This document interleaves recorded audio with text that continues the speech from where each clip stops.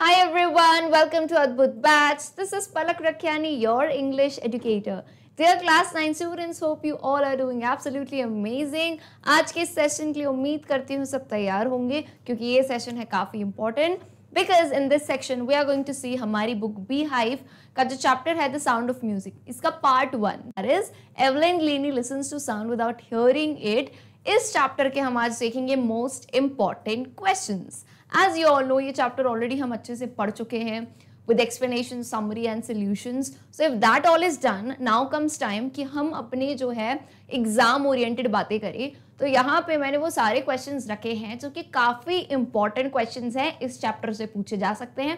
पहले पूछे गए हैं और अब मुझे जो उम्मीद है कि इनमें से कोई ना कोई क्वेश्चन आपसे पूछा जा सकता है। सो इंपॉर्टेंट क्वेश्चन है keep your notebook with you and note them down let's begin with the class M I Qs की कहानी सबको पता है। कोशिश अपन ऐसी करते हैं क्या? कि जो पैटर्न हमारे एग्ज़ाम में आता है है ना? जो अपना सी सेक्शन लास्ट सेक्शन जो आता है लिटरेचर का।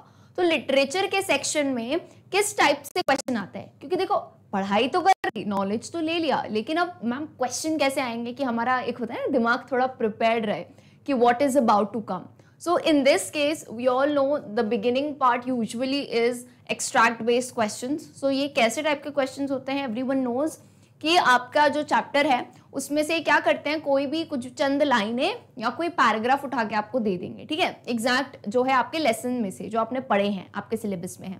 तो यहाँ पे ऐसे ही क्या है? एवलिन लीने वाला जो चैप्टर है, उसका पैराग्राफ उठा के रखा है। And then what do they do based on this particular paragraph इस जो है पर्टिकुलर पैराग्राफ के अनुसार वो आपको कुछ प्रश्न देते हैं क्वेश्चंस जिनका पैटर्न अलग अलग हो सकता है। या तो कुछ क्वेश्चन एमसीक्यू होंगे, या कुछ जो है आपको पता है क्वेश्चन ट्रू एंड फॉल्स हो सकते हैं, कुछ शॉर्ट आंसर कुछ एंटोनिम सिनोनिम तो इस टाइप से देते हैं। But again every time I see these questions are like proper cheating वाले क्वेश्चन यानी ये सामने सामने आपको जो है किताब रख देते हैं खुली कि ये लो पैराग्राफ तुमको मैंने सब याद दिला दिया। So what I expect from my students is की don't ever lose marks in these question ये सबसे इजिएस्ट क्वेश्चन होते हैं कि आप आराम से मार्क्स स्कोर कर सकते हो। ठीक है? So number one is read the following extract carefully and answer the question that follow अच्छा एक और चीज़ बताती हूँ। सिर्फ़ हम क्वेश्चन नहीं देख रहे हैं, थोड़ी बहुत अप्रोच भी सीखेंगे। तो इस टाइम में मैं कहती हूँ, जब अब जब भी आप चैप्टर पढ़ो ना तो प्लीज़ ऐसा मत किया करो कि हम समरी देख के बिल्कुल जा रहे हैं। समरी में भी ऑल दो मैंने सब कुछ कवर किया है बट सबसे पहले हमेशा एवरी टाइम आप बोलोगे, पलक मैम एक ही प्रायोरिटी रखती हैं कि आप चैप्टर का एक्सप्लेनेशन ज़रूर देखो लाइन टू लाइन क्योंकि आपके इंग्लिश में बहुत लंबे लेसन नहीं है तो आपको ऐसा घबराना नहीं है कि बहुत लंबे लंबे दस पंद्रह जो है ना चैप्टर पेजेस के चैप्टर ऐसा नहीं है। बहुत ही सिंपल से हैं तो आप जो है ना, जब लाइनें पढ़ोगे तो आपको आइडिया लगेगा। अब फॉर एग्ज़ाम्पल आपको ये लाइनें दे दी, है ना? अभी तो चलो तुमको पता है कौन सा चैप्टर पढ़ रहे हो बट यू नो काफ़ी चैप्टर्स हैं। तो जब आपको लाइन दे दी कभी कभार पूछ देते हैं कि name the author name the chapter and name the author या फिर नेम दी अगर कविता हो तो name the poem and the poet so आपको पता तो होना चाहिए कहाँ से ये लाइनें ली गई हैं। So it's very important to study the detail explanation अपनी एनसीईआरटी e को तो बिल्कुल दिल से लगा लो, है ना? डोंट थिंक कि हमको मैम दस अलग बुक्स पढ़नी है no NCERT is the key to go and आपको ऐसा लगता है कि और इन्फॉर्मेशन चाहिए तो जो अपन यहाँ पे पढ़ाई करते हैं ना उसमें मैं आपको ऑलमोस्ट सारी इन्फॉर्मेशन दे ही देती हूँ जो आपके एग्ज़ाम के लिए रिक्वायर्ड है।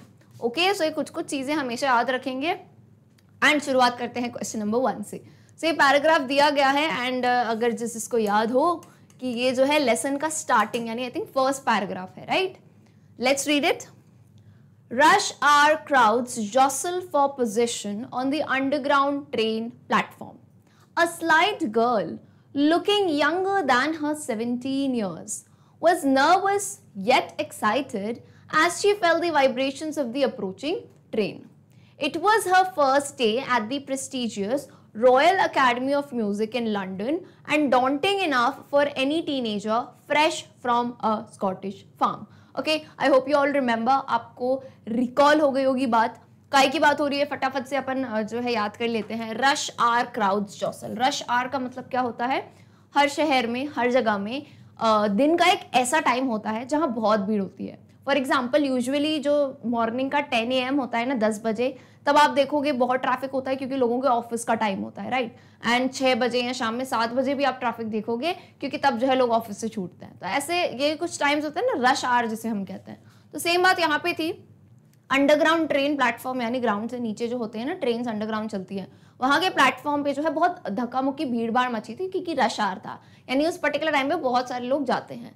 तो जॉसल फॉर पोजिशन का मतलब क्या है? जॉसल का मतलब है धक्का मुक्की करना। तो ऑब्वियसली बात है, जब भी आप ट्रेन वगैरह में चढ़ते हैं तो हर कोई यही चाहता है ना कि मुझे मेरी पोजीशन मिल जाए, नहीं तो ट्रेन छूट जाएगी भाई तो अपन थोड़ा धक्का मुक्की भी करते हैं कि ट्रेन पकड़ना ज़रूरी है। तो यही चल रहा था। फिर आता है a slight girl looking younger than her seventeen years यहाँ पे स्लाइट का बेसिकली मतलब क्या होता है? दुबली पतली सी लड़की, है ना? स्लाइट है ना बहुत ही दुबली एंड थिन सी लड़की है, जिसकी उम्र है तो सत्रह साल, है ना? जिसकी एक्चुअल उम्र क्या है? सेवनटीन ईयर्स लेकिन वो जो है युकिंग यंगर यानी वो उस उम्र से कम की दिख रही है। होता है ना, कुछ लोग सत्रह, अठारह के हो जाते हैं, फिर भी वो छोटे से दिखते हैं, बहुत यंग दिखते हैं जैसे बारह, तेरह साल के हो। और राइट तो वो सेम था, क्योंकि वो दुबली पतली थी तो वो छोटी दिख रही थी अपनी उम्र से। नर्वस येट एक्साइटेड यानी वो घबराई हुई भी थी और एक्साइटेड भी थी साथ ही साथ। किस चीज़ के लिए? अब वो चीज़ तो हमें आगे पता है, क्योंकि जो है उनका रॉयल अकेडमी ऑफ़ म्यूज़िक जो लंदन है, बहुत ही, लंदन में है, बहुत ही बड़ी अकेडमी है, वहाँ उनका पहला दिन था। ओके सो उन्होंने देखा ट्रेन आ रही है, उसकी वाइब्रेशंस को उन्होंने फील किया। अच्छा अब वो नर्वस क्यों थी? क्यों थी वो नर्वस भाई? क्योंकि वो स्कॉटिश फार्म यानी स्कॉटलैंड की एक छोटी सी जगह से, एक छोटे से विलेज से आई हैं और वो कहाँ जा रही है? लंदन तो ऑब्वियसली बात है आप कहीं छोटी सी जगह से आते हो या दूसरे शहर से या आपको कहीं और जाना है तो हल्की सी नर्वसनेस तो होती है ना, कि कैसे वहाँ के लोग होंगे, कैसा माहौल होगा, क्या मैं एडजस्ट कर पाऊँगी या नहीं? तो सेम उनके साथ था। डॉन्टिंग इनफ डॉन्टिंग का मतलब होता है डरा देने वाले चीज़। ओके क्लियर है? सबको याद आ गया? अपन ने पढ़ा था अच्छे से। चलो, अब मैं उम्मीद करती हूँ each one of you can answer these question so आप अपनी नोटबुक में आंसर भी देते जाओ। तो आपको एक होता है ना, एक मेहनत आपकी फिर से हो जाएगी कि हाँ यार, मेरे को आता है ये चैप्टर चलिए question number one is MCQ you can clearly see पहला क्वेश्चन जो है मल्टीपल चॉइस क्वेश्चन है विच मीन्स आपको सवाल दिया है ए बी सी डी चार ऑप्शन दिए हैं। You need to take the correct answer so the question says the girl referred to here is dash question का मतलब है द गर्ल यानी यहाँ पे अभी पीछे लड़की का नाम नहीं बताया। पीछे क्या कहा था देखो? कहा था अ स्लाइट गर्ल तो यहाँ पे किस लड़की की बात हो रही है?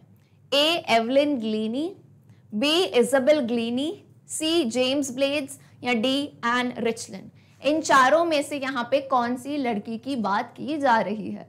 सो so, काफ़ी आसान सा क्वेश्चन है, जिनके ऊपर ये पूरा चैप्टर है, बहुत ही प्रसिद्ध म्यूजिशियन जिनका नाम है Evelyn Glennie so option A is the correct answer clear है? इन्हीं के ऊपर पूरा चैप्टर बेस्ड है. चलिए सो फ़र्स्ट क्वेश्चन तो क्लियर है. Question number two where was she going ये भी एमसीक्यू है, सवाल पूछता है कि भाई वो ट्रेन से जा कहाँ रही थी?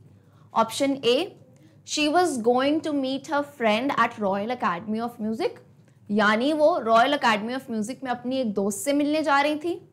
Option B she was going to attend her first day at Royal Academy of Music या फिर वो रॉयल अकेडमी ऑफ़ म्यूज़िक में उनका पहला दिन था, पहला दिन अटेंड करने जा रही थी। C she was going to meet Ron Forbes at Royal Academy of Music या फिर वो रॉन फॉब्स से मिलने जा रही थी इस अकेडमी में। And option D she was going to the concert being played at Royal Academy of Music या फिर वो उस अकेडमी में कोई एक कॉन्सर्ट हो गया म्यूज़िक कॉन्सर्ट उसे जो है वो सुनने जा रही थी ओके okay? तो इन चारों में से क्या करेक्ट ऑप्शन है? तो मैंने कहा, ना, खुली चीटिंग है, तुमको अगर याद भी नहीं हो, वैसे तो याद होना चाहिए, ठीक है? But in case you don't remember so you can clearly see यहाँ पे दिया है it was her first day at the prestigious Royal Academy यानी उस अकेडमी में उनका पहला दिन था। जैसे आप लोग बड़े हो गए कॉलेज जाओगे तो होता है ना, कॉलेज में आज मेरा पहला दिन है तो सेम इन्हीं के साथ था। तो करेक्ट आंसर क्या हो गया? यहाँ पे option B she was going to attend her first day at Royal Academy of Music clear है? चलिए। Let's move on to question number three again an MCQ let's see the question the given extract shows that the girl is feeling dash given extract extract यानी आपको जो ये paragraph particular दिया है वो क्या बताता है that the girl is feeling यानी जिस लड़की की बात की गई है एवलिन की, वो क्या महसूस कर रही है, उसकी फीलिंग्स क्या है उस वक्त? ए एक्साइटेड एक्साइटेड का मतलब सबको पता है ना क्या होता है? बहुत ही उत्सुक थी वो। बे नर्वस नर्वस का मतलब क्या होता है? थोड़ी टेंशन में थी वो, है ना, कि नर्वस हो रही हूँ मैं, है ना, कैसे होगा सब कुछ? घबराई हुई सी। सी जॉयफुल शॉयफुल यानी बहुत खुश मिजाज रही थी कूदनी थी, नाच रही थी। या option D both A and B कि ए और बी ऑप्शन दोनों करेक्ट है। तो अब यहाँ पे आपको क्लियरली जो है पैराग्राफ में दिया है, ये लाइन दी है है ना? शी वॉज़ क्या थी line she was nervous yet excited याद है कि नहीं? पीछे ही लिखी हुई थी आई डोंट थिंक मुझे फिर से मुड़ना पड़ेगा, है ना? सबको याद है?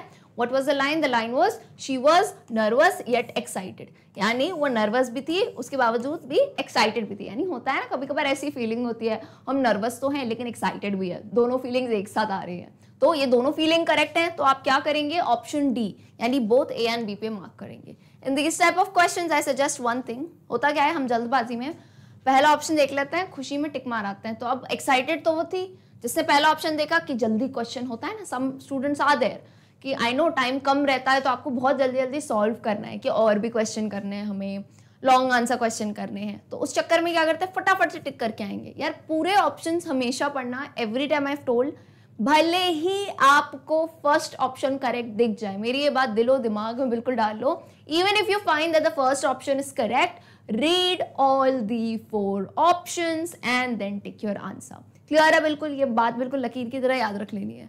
चलिए आ जाते हैं क्वेश्चन नंबर फोर पे। अच्छा क्वेश्चन नंबर फोर देखो, अब अलग पैटर्न का है। यहाँ पे क्या पूछा है आपसे? The word daunting in the extract means dash यानी जो आपका पर्टिकुलर पैराग्राफ है, उसमें जो शब्द है डॉन्टिंग इसका मतलब क्या है? तो अब इस क्वेश्चन का पैटर्न कैसे हो गया? देखो वर्ड मीनिंग तो एक्सट्रैक्ट बेस्ड क्वेश्चन आपसे कुछ भी पूछ सकते हैं, उनका जो मन करे। है ना, वो तुमसे वर्ड मीनिंग भी पूछ सकते हैं सिनोनिम एंटोनिम भी पूछ सकते हैं। है ना? आपसे पूछ सकते हैं कि फिगर ऑफ़ स्पीच क्या यूज़ किया गया है यहाँ पे? Anything they can ask okay so have to be very clear with everything ठीक? आपको चैप्टर पढ़ोगे तभी तो मतलब पता होगा कि डॉन्टिंग वर्ड का मतलब क्या है। तो मेरे स्टूडेंट्स को मैंने अच्छे से पढ़ाया था। डॉन्टिंग इनफ डॉन्टिंग इनफ का यहाँ पे मतलब क्या था कि बहुत ज़्यादा जो है डर जाना, घबरा जाना, है ना? स्केयर्ड हो जाना। तो डॉन्टिंग को हम क्या कह सकते हैं? अफ्रेड कह सकते हैं या फिर फ्राइटनिंग कह सकते हैं। तो करेक्ट आंसर क्या है? फ्राइटनिंग अच्छा तुम फ्राइटनिंग के सिनोनिम्स भी लिख सकते हो। कुछ बोलेंगे मैम मैंने तो अफ्रेड सोचा था, एक ही तो बात है ना। अफ्रेड फ्राइटनिंग स्केयर्ड है ना? पर्यायवाची आप लिख सकते हो। ऐसा नहीं, आपके दिमाग में ये है, मैंने ये लिखा तो ये गलत है ना। Synonyms are fine if you want you can write frightening you can write afraid you can write scared सभी का मतलब क्या होता है? डरा हुआ होना, घबराया हुआ होना। जैसे कि एवलिन थी। क्यों? क्योंकि वो स्कॉटलैंड की छोटी सी जगह से कहाँ जा रही थी? लंदन जैसे बड़े शहर में जा रही थी। ओके चलिए। बहुत ही शानदार आते हैं क्वेश्चन नंबर फाइव पे। Okay now this is a question जहाँ पे आपको शॉर्ट आंसर देना है। ठीक है? आपको चंद लाइनों में यहाँ पे अपना उत्तर लिखना है। तो क्वेश्चन पढ़ते हैं। Why was it daunting for Evelyn Glennie to be at the Royal Academy of Music London तो अभी आई थिंक बोलते बोलते जिसने सुना हो मैंने आंसर ही बता दिया कि वो घबराई हुई क्यों थी। क्वेश्चन का है वाई वॉज़ इट डॉन्टिंग मतलब ये डरावनी सी बात क्यों थी? घबराने की बात क्यों थी एवलिन के लिए कि वो रॉयल अकेडमी ऑफ़ म्यूज़िक जा रही थी? सो so, A change of surroundings made the situation daunting for Gleany, who was just a teenager traveling away for the first time from a Scottish farm. यानी यहाँ पे क्लियर से आप answer क्या दोगे भाई? बेसिक सी बात है a change of surroundings surroundings, यानी आपके आसपास वाले माहौल में जब बदलाव आता है। फॉर एग्ज़ाम्पल आप यूपी के रहने वाले हैं। अब आपको एकदम से कह दिया, नहीं, आपको पढ़ने जाना है मुंबई। तो आपका एडमिशन हो गया कॉलेज में, आपको मुंबई जाना है। तो एक अलग घबराहट भी होती है ना कि यार, हम यूपी में रहते थे अभी तक तो और अब एकदम से कॉलेज जाना है। अलग लोग वहाँ की होते हैं ना महाराष्ट्रियन लैंग्वेज है। Everything is different is it तो एक चेंज ऑफ़ सराउंडिंग्स जब होता है मेड द सिचुएशन डॉन्टिंग तो उस स्थिति को डरावना, यानी थोड़ा डरा देने जैसा, डरावना सब भूत जैसा नहीं बट डरा देने जैसा बना दिया फॉर ग्लीनी है ना? Evelyn Glennie who was just a teenager जो कि ये क्या थी? टीनेजर थी। Teenager I hope everyone knows है ना? आप सब भी टीनेजर ही हो, जो अपने टीन्स में होते हैं। यानी थर्टीन से लेके नाइनटीन ईयर्स तक की जो उम्र है, उसे हम टीनेजर कहते हैं। ठीक है? और क्या बताया था? कि वो कितने साल की थी? सत्रह साल की थी ना? सेवनटीन की थी। तो वो बस एक टीनेजर थी travelling away for the first time travelling away यानी वो अपने स्कॉटिश फार्म से स्कॉटलैंड में जहाँ वो रहती थी, वहाँ से वो दूर जा रही थी। तो ज़ाहिर सी बात है हल्का सा डर तो उन्हें लगेगा। क्लियर है? तो इस टाइप से आप अपना आंसर कोट कर सकते हैं। Done okay let's move on those who can note the answer well and good if you can't quickly then आप स्क्रीनशॉट ले लिया करो। ठीक है? चलो। आते हैं नेक्स्ट अब आता है हमारा सेकेंड एक्सट्रैक्ट लंबा एक्सट्रैक्ट है भाई ये। तो क्वेश्चन टू है फटाफट से पढ़ते हैं। Evelyn confesses that she is something of a workaholic now ये इंडियन की बात वाला पैराग्राफ है कि एवलिन जब बताती है कि मैं एक वर्कोहॉलिक हूँ। ठीक है सो so, एक काम करते हैं एक एक लाइन रीड करते हैं साथ में समझते जाते हैं। एवलिन कन्फेसेस कन्फेसेस यानी वो बताती हैं ये है ना ये बताती हैं ये ज़ाहिर करती हैं कि she something of a workaholic workaholic कौन? एल्कोहलिक सुना है ना जिससे शराब का नशा होता है। तो वर्काहॉलिक कौन? जिसे काम का नशा हो, काम करने का कि भाई मुझे कुछ ना कुछ I need to be working यानी मैं कुछ काम करूँ करियर बनाऊँ आर्ट्स में जाऊँ, कुछ ना कुछ जो है ना, जो इंसान करता रहता है that person is basically a workaholic तो फिर वो क्या कहती हैं? I have just got to work often harder than classical musicians. But the rewards are enormous. तो ये यहाँ पे किसमें है? डबल इन्वर्टेड कॉमर्स में है। इसका मतलब क्या है? ये डायरेक्ट स्पीच है विच मीन्स एवलिन जी की एक्चुअल कहे हुए शब्द हैं। वो क्या कहती हैं? I have just got to work मुझे सिर्फ़ काम ही करना होता है। और वो काम ऑफन हार्डर देन ऑफन यानी कभी कभार मुझे जो है नॉर्मल जो क्लासिकल म्यूजिशियंस होते हैं, उनके ज़्यादा मेहनत करनी पड़ती है। क्यों? क्योंकि अब हमें पता है एवलिन डेफ है। तो बेटा दिखने में इट सीम्स कि शी इज़ वेरी बहुत ही आराम से वो काम कर रही हैं। बट कहीं ना कहीं उनको मेहनत तो बहुत करनी पड़ती है ना, कि बिना सुने भी अगर उनको म्यूज़िक फील करना है so she has to get through many ways है ना? बहुत रियाज उनको बहुत प्रैक्टिस करनी पड़ती है। तो वही कहती है वो कितनी वर्काहॉलिक है देखो वो बहुत मेहनत करती हैं। पर कहती हैं, ये मेहनत जो है ना वर्थ इट है है ना? क्यों? क्योंकि इसके जो रिवॉर्ड्स हैं वो इनॉर्मस हैं। इनॉर्मस यानी जो उनको प्यार मिलता है बदले में लोगों द्वारा, जो वो सीखती है, जो उनको अवार्ड्स मिलते हैं, जो उनको प्रेरणा मिलती है अप्रिसिएशन मिलता है तो वो कहते हैं वो इनॉर्मस है, यानी वो बहुत है। तभी उनको काम करने में बहुत मज़ा आता है और कोई दिक्कत नहीं होती है। ठीक है? Now next apart from the regular concerts Evelyn also gives free concerts in prisons and hospitals यहाँ बताया गया है अपार्ट फ्रॉम अपार्ट फ्रॉम यानी जो है नॉर्मल कॉन्सर्ट्स के अलावा अपार्ट फ्रॉम का मतलब क्या होता है? के अलावा या के सिवाय, है ना? सो नॉर्मल कॉन्सर्ट्स के अलावा जो है एवलिन हॉस्पिटल्स और जो है प्रिजन प्रिजन का मतलब क्या होता है? जेल हॉस्पिटल और जेल में वो जो है फ्री में, यानी उन कॉन्सर्ट्स का उसमें प्ले करने का वो कोई भी पैसा नहीं लेती हैं। ऐसा क्यों होता है? तो देखो, क्या होता है ना, अस्पतालों में और प्रिजन में जेल में जो कैदी रहते हैं तो उनकी लाइफ फेक होती है ना, बहुत बोरिंग सी हो जाती है। तो उनका जो है मनोरंजन बना रहे स्पिरिट बनी रहे उनकी जीवन जीने की तो जो है एवलिन एंड काफ़ी सारे आर्टिस्ट हैं ऐसे, जो वहाँ पे परफॉर्मेंसेस देते हैं ओके ऐसे जैसे बहुत स्टैंड अप कॉमेडियन भी होते हैं, जो वहाँ पे जाते हैं और अपनी परफॉर्मेंस देते हैं, ठीक है? चलो नेक्स्ट हम आते हैं। And Richlin, she also gives high priority to classes for young musicians. High priority यानी वो प्रायोरिटी का मतलब क्या होता है? कोई भी चीज़ को जो है आप प्रायोरिटी पे सेट करते हो यानी कि ये चीज़ मेरे लिए ज़्यादा महत्वपूर्ण है ये कम है। तो हाई प्रायोरिटी यानी यंग म्यूजिशियंस को जो भी यंग आर्टिस्ट होते हैं ना उनको सिखाने के लिए भी एवलिन बहुत डेडिकेटेड रहती हैं। वो कहती हैं जो ये युवा पीढ़ी है है ना ये जो म्यूजिशियन है क्योंकि वो भी जब यंग एज में थी तो उनके टीचर ने उन्हें सिखाया तभी वो ये बन पाई। तो वो ये प्रायोरिटी देती हैं कि यंग म्यूजिशियंस की मैं क्लासेस लूँ। एंड रिचलिन अब एक और कैरेक्टर जो आती हैं। And Richlin of the Beethoven fund for deaf children says यानी बेथविन फंड है डेफ चिल्ड्रन का, उनकी जो हेड है एंड रिचलिन वो ये कहती हैं she is a shining inspiration for deaf children they see that there is no where that they can not go तो वो कहती हैं कि ये जो डेफ चिल्ड्रन है ना, उनके लिए एवलिन तो एक शाइनिंग इंस्पिरेशन है, एक बहुत ही चमकती हुई प्रेरणा है। क्यों? क्योंकि वो बच्चे जो है ना, वो ये सोचते हैं कि ऐसी कोई जगह नहीं है, ऐसा कोई फ़ील्ड नहीं है जो वो चूज़ नहीं कर सकते। होता है ना, कोई इंसान जिसकी, आपकी जैसी सेम परेशानी हो, लेकिन वो जीवन में बहुत बेहतर कर पा रहा है। तो हमें एक मोटिवेशन आता है कि अगर ये कर सकते हैं या कर सकती हैं तो वाई कांट बी तो ऐसे ही बताते हैं कि डेफ चिल्ड्रन के लिए जो जो बहरे बच्चे होते हैं, उनके लिए जो है बहुत ज़्यादा बड़ी मोटिवेशन है Evelyn next Evelyn Glennie has already accomplish more than most people twice her ये बात भी कही थी कि एवलिन ग्लीनी ने हैज़ ऑलरेडी अकम्प्लिश्ड अकम्प्लिश्ड का मतलब क्या होता है? पाया है या फिर जो है अचीव किया है? किससे ज़्यादा? More than most people twice her age यानी उसकी उम्र से दुगने लोग जो हैं, उनसे ज़्यादा एवलिन अपने जीवन में अचीव कर चुकी है, क्योंकि वो बहुत ही डेडिकेटेड थी और हार्ड वर्किंग थी। She has brought percussion to the front of the orchestra and demonstrated that it can be very moving और उन्होंने परकशन परकशन यानी जो इंस्ट्रूमेंट वो बजाती हैं, तबला और ड्रम्स वाले जो इंस्ट्रूमेंट होते हैं, उनके लिए भी बहुत बड़ा काम किया है। क्यों? क्योंकि पहले क्या होता था? ऑर्केस्ट्रा में ये वाला जो इंस्ट्रूमेंट होता है ना, पीछे रखे जाते थे। कि ये तो ठीक है, होता है ना एक साइड हीरो के जैसे कि ठीक है, ये तो सपोर्टिंग है। लेकिन उन्होंने इतनी काबिलियत बढ़ाई उसकी कि परकशन वाले इंस्ट्रूमेंट अलग से भी बजाए जाते हैं। जिसका आज आप रिज़ल्ट देखते हो, तबला में ड्रम्स के अलग अलग कॉन्सर्ट होते हैं। यानी कॉन्सर्ट के बीच में वो एक मेन हाईलाइट होते हैं, है ना? कि आप सिर्फ़ ड्रम्स भी सुनोगे, सिर्फ़ तबला, ढोलक तो आपको बहुत ज़्यादा मज़ा आएगा। तो एवलिन ग्लीनी ने इस पर्टिकुलर इंस्ट्रूमेंट को आगे बढ़ाने का भी बहुत ज़्यादा काम किया है। She has given inspiration to those who are handicapped people who look to her and say if she can do it then I can तो उन्होंने हैंडीकैप्ड यानी जो विकलांग लोग हैं, उनके लिए तो बहुत बड़ी मोटिवेशन रही हैं वो।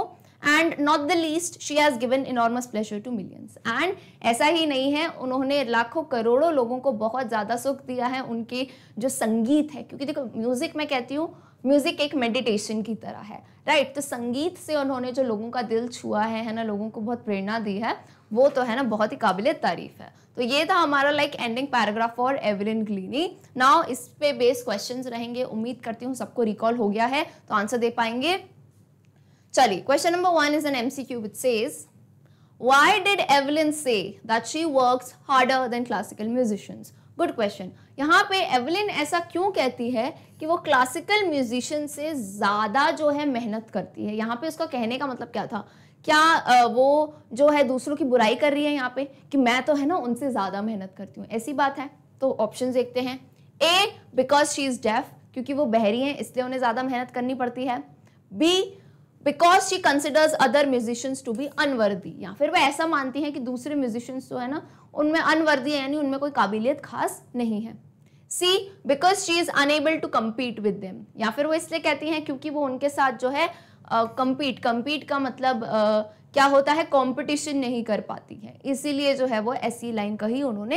या फिर D none of the above तो इट्स वेरी क्लियर हमको पता है भाई एवलिन ने ऐसा क्यों कहा था? उनके कहने का मतलब ये था कि उन्हें मेहनत इसलिए करनी पड़ती है because she is deaf because she is deaf तो उन्हें संगीत को समझने, नए जो है नोट्स पकड़ने, नई ताल बनाने में जो है उन्हें ज़्यादा मेहनत करनी पड़ती है। तो correct answer is A because she is deaf okay clear है?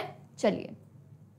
Moving on to the next question question two what does she give high priority to Evelyn Glennie जो है सबसे ज़्यादा प्रायोरिटी किसे देती हैं? A classes for her self यानी खुद की क्लास लेने के लिए खुद को क्लास देने के लिए वो बहुत प्रायोरिटी देती है। B classes for young musicians यानी युवा जो संगीतकार हैं उनके लिए वो प्रायोरिटी देती हैं। सी हर परफॉर्मेंसेज यानी अपनी खुद की जो है परफॉर्मेंस के लिए। या डी हर इंटरनेशनल टूर्स यानी वो जो अंतर्राष्ट्रीय टूर करती हैं उसके लिए वो प्रायोरिटी देती हैं। सो so, क्लियरली अभी पैराग्राफ पढ़ा था याद है हमें किसे ज़्यादा प्रायोरिटी देती है वो? युवा संगीतकार यानी क्लासेस फॉर यंग म्यूजिशियंस ताकि एक छोटी उम्र से ही वो अपने इंटरेस्ट में आगे बढ़ पाएँ और अपना जो है करियर शेप कर सकें। क्लियर है? चलिए। Moving on to the next question that is question number three question number three says select the correct option that correctly captures the usage of the word moving as used in the extract. Star mark लगा लो। ये question काफ़ी students हैं जिनको uh, मैंने observe किया है। कि समझ नहीं आता इस क्वेश्चन में क्या करना है। देखो, इस टाइप के क्वेश्चन पूछे जाते हैं काफ़ी बार।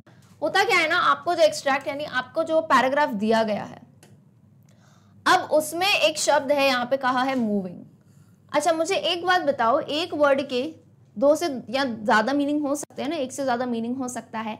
तो क्या डिपेंड करता है उसका मीनिंग जिस सेंटेंस में से यूज़ किया हो, यानी जिस वाक्य में वो शब्द यूज़ है, वहाँ पे उसका मीनिंग अलग हो सकता है। तो आपको कहा है आपने जो पीछे भाई पैराग्राफ पढ़ा, उसमें एक शब्द था मूविंग जरा उस पे जाओ मूविंग शब्द का मतलब देखो एंड सेम मतलब इन चारों लाइनों में से मूविंग कहाँ पे देता है? ठीक है? बिकॉज़ यू ऑल नो एक शब्द का ज़्यादा मीनिंग हो सकता है। तो आपको बस पैराग्राफ पढ़ना है। वहाँ पैराग्राफ में मूविंग का क्या मतलब है? यहाँ पे आपको फिर बताना है। ठीक है? क्लियर है बिल्कुल? तो फटाफट से एक बार मैं आप लोग को पैराग्राफ दिखा देती हूँ ताकि आप पैराग्राफ पढ़ पाओ। अच्छा मूविंग मूविंग वर्ड यहाँ पे ढूंढो। मूविंग कहा था? नीचे नीचे था राइट ये रहा। वेरी मूविंग ये देखो। ये रही लाइन आपको चाहो तो आप यहाँ से लेके यहाँ तक जो है लाइन को पढ़ो एंड देन उसका आंसर देखना। ठीक है? क्या है line she has brought percussion to the front of the orchestra and demonstrated that it can be very moving और ये बताया कि ये जो पर्क्यूशन इंस्ट्रूमेंट है, जो ड्रम्स होते हैं they can be very moving तो मुझे एक बात बताओ। सबको पता है मूव वर्ड का मतलब क्या होता है? चलना। ठीक है? चलना या फिर आप कह सकते हो प्रॉपरली हिलना, ठीक है? या फिर कोई हिलना डुलना, ठीक। अब मुझे एक बात बताओ मूविंग तो आपका आई लग गया यूजुअली वर्ड होता है चलना। यहाँ पे मुझे बताओ, क्या मूविंग वर्ड का मतलब चलना है? कि एवलिन कहती है कि ये जो तुम ड्रम वम बजाते हो, ये बहुत ही मूविंग हो सकते हैं, यानी चलने वाले हो सकते हैं। नहीं, आपको पता है मूविंग वर्ड का एक और मतलब है जो कि यहाँ यूज़ किया गया है। वेरी मूविंग यानी हमारे दिल तक वो बात छू जाती है। It can be very moving यानी हम उस चीज़ को फील कर सकते हैं। Right right? जैसे हम कहें कि the performance was very moving very moving यानी परफॉर्मेंस हिल रही थी? नहीं। यहाँ पे वेरी मूविंग का मतलब क्या होता है कि वो हमारे दिल को छू गई, स्पर्श कर गई। Okay so clearly in this particular paragraph moving का मतलब क्या है कि कोई चीज़ जो दिल को छू जाए। So I hope if you are very clear with the meaning now you can read the four option and tell the correct answer ठीक है? समझ आई बात? चलो। चारों पढ़ते हैं। The children were happy on seeing the moving train यानी बच्चे बहुत खुश हो गए थे चलती हुई ट्रेन को देख के। B the world is moving at a fast pace today दुनिया जो है बहुत तेज, रफ्तार से पेस का मतलब क्या होता है? रफ्तार या स्पीड ठीक है? C have you ever been to the moving restaurants क्या आप कभी मूविंग रेस्टोरेंट कुछ रेस्टोरेंट्स होते हैं जो गोल गोल घूमते हैं? क्या आप ऐसे रेस्टोरेंट में गए हैं कभी? जैसे आई थिंक अहमदाबाद में एक पतंग होटल है, वहाँ पे ऐसा कुछ होता है राइट तो मूविंग रेस्टोरेंट में आप कहीं गए हो हिलते हुए रेस्टोरेंट में, और D hearing the rags to riches story of the business man was a moving experience for every one rags to riches का मतलब क्या होता है? रैग का मतलब क्या होता है? जो आप कूड़ा कचरा उठाते हो ना तो रैग्स से लेके, यानी वो छोटे छोटे कूड़े वाले चीज़ों से लेके रिचेस तक, यानी एक बहुत ही फ़ेमस बिजनेसमैन होंगे, व्यापारी होंगे उनकी कहानी लोग सुन रहे होंगे रैक्स टू रिचेस यानी कैसे वो गरीब से अमीर बने, यानी कैसे वो जो है गरीब से, यानी ऐसा टाइम जब उनके पास कुछ नहीं था और आज उनके पास जो मांगो वो चीज़ है है ना? गरीब से अमीर बने, वो कहानी सुनना सभी के लिए, पूरी जनता के लिए क्या था? एक मूविंग एक्सपीरियंस हिलता हुआ एक्सपीरियंस नहीं। यहाँ पे मूविंग का मतलब क्या हुआ? दिल को स्पर्श करने वाला एक्सपीरियंस यानी उनकी बात जो है ना, हमारे दिल को छू गई। होता है ना कभी कभी जैसे आप मान लो बड़े बड़े सेलिब्रिटीज़ हैं, अमिताभ बच्चन की आप लाइफ स्टोरी है, जैसे और भी बहुत सारे एक्टर्स हैं, है ना? या फिर आप मान लो लीडर्स हैं फॉर एग्जांपल आप नरेंद्र मोदी जी ले लो, या फिर बहुत सारे जो हमारे रहे हैं लीडर्स जैसे जवाहरलाल नेहरू। तो इन सबके आप जो है, अगर कहानी सुनते हो तो कैसा होता है? एक मूविंग एक्सपीरियंस होता है। मूविंग यानी दिल को छू जाने वाला। सो करेक्ट आंसर सबको पता है ना? यहाँ पे तीनों जगह मूविंग का मतलब हो रहा है हिलना। ठीक है? जो कि हमको नहीं चाहिए था। हमें क्या चाहिए था? मूविंग का मतलब जो दिल को छू जाए। So D is the correct answer clear है? इफ़ इन क्वेश्चन आपको एग्ज़ाम में ऐसे टाइप के क्वेश्चन पूछे जाए तो अब मैं उम्मीद करती हूँ आप ज़रूर सॉल्व कर पाएँगे। क्लियर है? चलिए। बहुत ही बढ़िया। आओ क्वेश्चन फोर पे। Question four is a fill in the blank step question what you need to do fill in the blank with one word only one word यानी आपको कहा है हमने आपको एक ब्लैंक दिया है खाली जगह दी है। आपको एक ही शब्द से भरना है ऐसे सो so, क्या कहती है line in the extract Evelyn is talking to the dash ये चीज़ आपको याद करनी थी ये ये चीज़ पढ़ाई थी मैंने। एक्सट्रैक्ट में यानी अभी जो आपने ये पूरा पैराग्राफ पढ़ा ठीक है? आपको पता है इसमें एवलिन ने कुछ कुछ जवाब दिए कि मैं बहुत ही वर्कोहॉलिक हूँ और मैं जो है बहुत ही ज़्यादा मुझे मेहनत करनी पड़ती है क्लासिकल डांसर से ज़्यादा। एंड ये सब बातें वो कर रही थी। तो अब मुझे एक बात बताओ जब कोई किसी से बातें करता है तो यहाँ पे एवलिन किससे बात कर रही थी? Who was she talking to जो कि चैप्टर पढ़ाते टाइम मैंने पढ़ाया था। ठीक है? सो so, क्लियरली एक बात थी यहाँ पे एक्चुअली में एवलिन का क्या चल रहा था? अगर किसी को याद हो तो मैंने बताया था। इस टाइम पे एवलिन का जो है इंटरव्यू चल रहा था। इंटरव्यू जैसे भाई सेलिब्रिटीज वगैरह होते हैं ना, जिनका इंटरव्यू होता है कि उनसे प्रश्न वगैरह पूछे जाते हैं। तो सेम हो रहा था एवलिन के साथ। तो मुझे बताओ इंटरव्यू चल रहा होगा तो इंटरव्यू लेने वाले को क्या कहते हैं?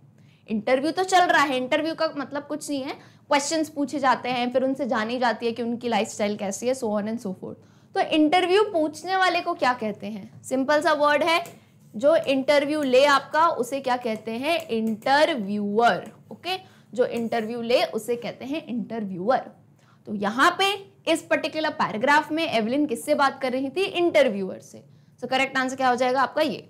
Okay so in the extract Evelyn is talking to the interviewer एक वर्ड में आंसर देना था तो एक वर्ड में आंसर हमने यहाँ दे दिया. क्लियर है? Okay okay. आ जाओ क्वेश्चन फाइव पे. Who in the extract points out that Evelyn Gleney is an inspiration for deaf children.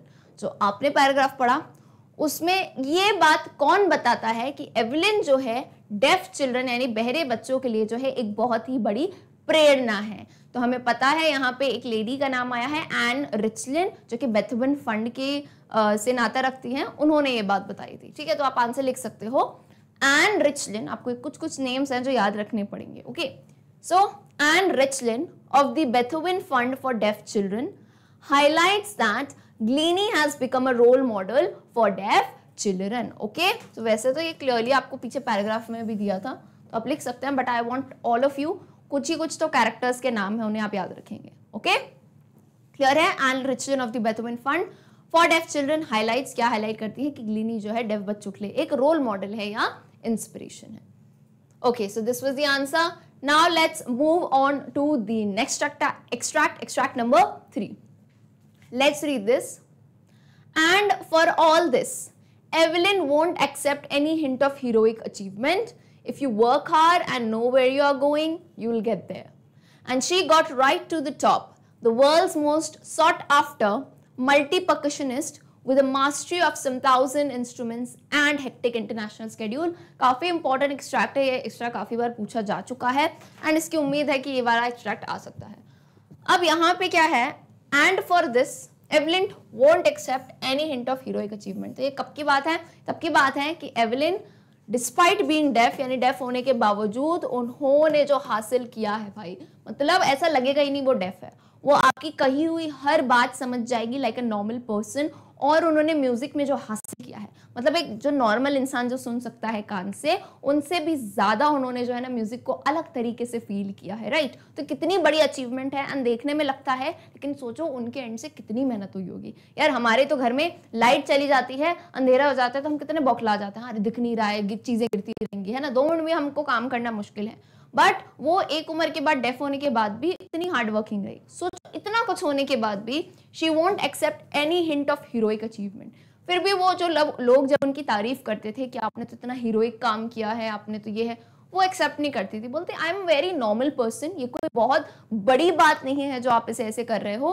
वो कहती हैं, और बहुत ही प्यारी लाइन्स उन्होंने यहाँ कही if you work hard and know where you are going यानी आपको अगर आपका गोल पता है, आपको लक्ष्य पता है कि मुझे ये करना है है ना? यहाँ इस राह पे मुझे चलना है, आपको गोल पता है। एंड दूसरा, उस गोल के लिए आप हार्ड वर्किंग हो। अच्छा अब हार्ड वर्क में ये नहीं है, गोल पता हो गया तो जो है ना, दुनिया ने तुम्हारी सारी चीज़ें आसान कर दी कि चलो चलो, इसको इसका गोल पता है, कोई मुश्किलें नहीं आएँगी। नहीं, मुश्किलें आएँगी, लेकिन आप अगर हार्ड वर्किंग हो, किसी भी टाइप की मुश्किल हो then you will get there फिर आप उस जगह तक, अपनी मंजिल तक पहुँच सकते हैं। तो ये दो चीज़ें, उन्होंने भी यही कहा। उन्हें उनका गोल क्लियर पता था कि उन्हें म्यूज़िक में जो है अपना करियर बनाना है। ठीक है? उनका गोल क्लियर था। अब वो हार्ड वर्क के लिए बिल्कुल रेडी थी। भले ही वो डेफ हो, कुछ भी प्रॉब्लम आए, उन्होंने कहा, कोई तो तरीका जीवन में निकलता है। देखो, एक हिंदी में कहावत है, जहाँ चाह है, वहाँ राह है। अगर आप चाहोगे कि आपको ये चीज़ करना है, आपको वहाँ तक पहुँचना है ठीक है? आप मेहनत करो, अपने आप रस्ते बनते जाते हैं, ठीक है? प्रॉब्लम आएगी, ऐसा नहीं है, बहुत मेहनत कर रहे हो तो सब अच्छा होता जाएगा, नहीं। प्रॉब्लम्स तो फिर भी आएँगी। जो है डेडिकेटेड रहना है। यही बात यहाँ पे एवलिन कहती है।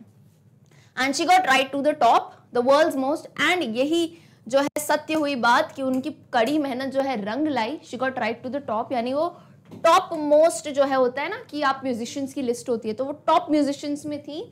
वर्ल्ड्स मोस्ट सॉट आफ्टर और सिर्फ़ अपनी जगह की नहीं, अंतरराष्ट्रीय international world's most sought after what is the meaning of sought after sought after का मतलब होता है पूछी जाने वाली, यानी होता है ना डिमांड में होती है कोई इंसान कि यार ये आर्टिस्ट बहुत ज़्यादा चल रहा है, मान लो अरिजीत सिंह चल रहा है तो ये डिमांड में है राइट तो उस टाइम पे वो वर्ल्ड मोस्ट सॉट आफ्टर यानी सबसे ज़्यादा डिमांड में मल्टी परकशनिस्ट मल्टी यानी क्या होता है? बहुत सारा मल्टी टास्किंग होता है ना, बहुत सारी चीज़ें एक साथ जो कर सकता है। तो मल्टी परकशनिस्ट परकशनिस्ट यानी जो परकशन बजाते हैं with the mastery of some and 10 15 20 30 50 नहीं अराउंड थाउज़ेंड इंस्ट्रूमेंट हज़ार इंस्ट्रूमेंट जिनके नाम तक हमें नहीं पता होंगे, उतनों में उनकी मास्टरी कर ली थी एंड एक हेक्टिक इंटरनेशनल स्केड्यूल हेक्टिक यानी बहुत ही बिज़ी अस्त व्यस्त उनका जो है अंतरराष्ट्रीय स्केड्यूल बनता था। स्केड्यूल यानी आर्टिस्ट वगैरह होते हैं ना, जो तो उनका टाइम टेबल होता है। कि मैम, आप अट्ठाईस तारीख को यहाँ रहेंगी, फिर तीस को यहाँ होंगे, दो को यहाँ है फ़ंक्शन ऐसे। ओके तो बहुत ही हेक्टिक उनका स्केड्यूल हो गया था। क्लियर है? याद आ गया ना paragraph all right then let's move on to the question question number one says all this in the given extract refers to जो पैराग्राफ है, वहाँ पे ये शब्द दिया था ऑल दिस उसका मतलब क्या है? तो ऑल दिस देखो एंड फॉर ऑल दिस यहाँ पे क्या मतलब है इसका? लाइनें पढ़ते हैं? ऑप्शंस पढ़ते हैं यानी ए हर करियर एज अ परक्यूशनिस्ट यानी एक परक्यूशनिस्ट के तौर पे उनका जो करियर है, उसकी बात हो रही है। B her journey in the Royal Academy of Music यानी उनकी जो जर्नी है रॉयल अकेडमी ऑफ़ म्यूज़िक उसकी बात हो रही है। C receiving the highest marks in the history of Royal Academy of Music यानी रॉयल अकेडमी ऑफ़ म्यूज़िक में उनकी, पूरे इतिहास में उनके one of the highest marks ज़्यादा मार्क्स आए थे। या D both B and C तो फॉर एंड ऑल दिस बहुत ही क्लियर सा आंसर है इसका। Option D B and C ये लाइन कब कही गई थी? जो उनकी पूरी जर्नी रही है रॉयल अकेडमी ऑफ़ म्यूज़िक में, उसकी भी बात है कि कैसे जो है उन्होंने इतनी बड़ी अकेडमी में मेहनत करके डेफ होने के बाद भी अपनी मुकाम हासिल किया। और मुकाम यानी ऐसे वैसे नहीं कि भाई पास हो गई। उस ऑडिशन में या वहाँ पे जो है, उनके पूरे इतिहास में, इतनी बड़ी एकेडमी के इतिहास में उनके हाईएस्ट मार्क्स थे। यार बाकी स्टूडेंट्स तो नॉर्मल थे। She being deaf she score the highest marks and Royal Academy की पूरी जो उनकी जर्नी रही है, यहाँ भी उनको बहुत सारे जो है अवार्ड अचीवमेंट्स होता है ना बेस्ट परफॉर्मर बेस्ट स्टूडेंट्स वो सब इन्हीं को मिला था। ठीक है? तो ऑल दिस का यहाँ पे मतलब क्या था? इनकी इन दोनों बातों का। चलिए moving on to question two ना question two is a different यहाँ पे कैसा है बताती हूँ मैं आपको। आपको यहाँ पे पाँच स्टेटमेंट दिए गए हैं। ठीक है? आपको क्या करना है? Choose the option that list the set of statements that are not true according to the given extract not true का मतलब क्या होता है? क्लियरली साइड में लिख दिया करो फॉल्स यानी ऐसी कोई भी स्टेटमेंट जो गलत है पैराग्राफ के हिसाब से, उन पर आप मार्क करो।